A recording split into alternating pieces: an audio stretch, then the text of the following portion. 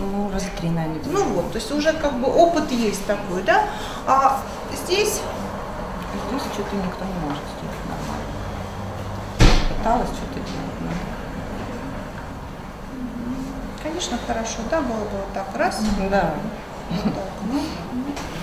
Так, если мы делаем нижнюю треть, препарат, если у нас больше ничего, то есть нижняя треть и губы, какой препарат? Волю, волю. Больше. Теперь чуть-чуть вниз подбородочек, наоборот, вот. Вот наш плюс большой уже, да, такой провисший. Ну, и здесь еще и подбородочек хочется.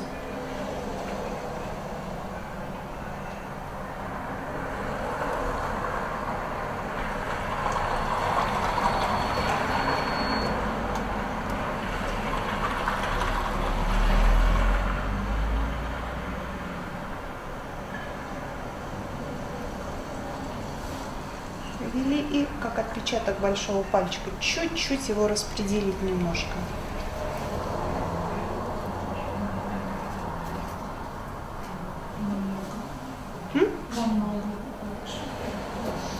Хотя казалось бы, да?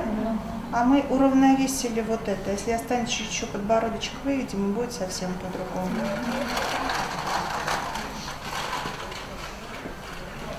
То есть нам нужно нам еще один шприц. Ну, еще. Красотка.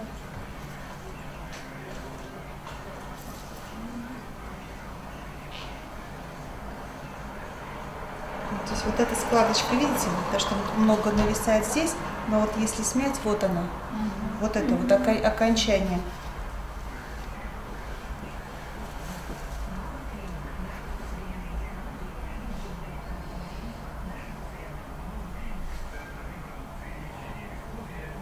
На развороте, понятно это, да? И если вы правильно оценили проблему, ситуацию, вы не испытываете никакого сопротивления, никакого неудобства. Вы как по маслу просто разворачиваетесь. То есть не перекалывать. Нет, а вот, вот уколола и на развороте давлю на пошив. Какое количество? Ой, я уже даже не смотрю, да. Не хватает вот объема. Помните, я вам нарисовала H1 к H2. От основания носа до губы и от линии смыкания до подбородка. Вот гармонично, если один к двум. А здесь один, тут, вот здесь это сантиметра полтора, и здесь два. То есть нет этого один к двум.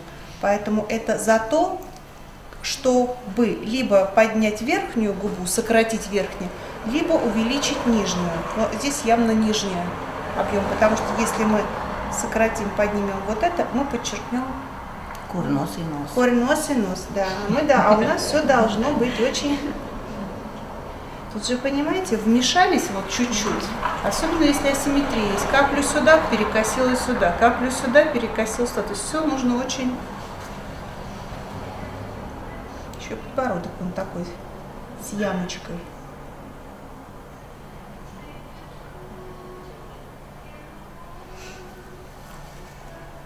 Так.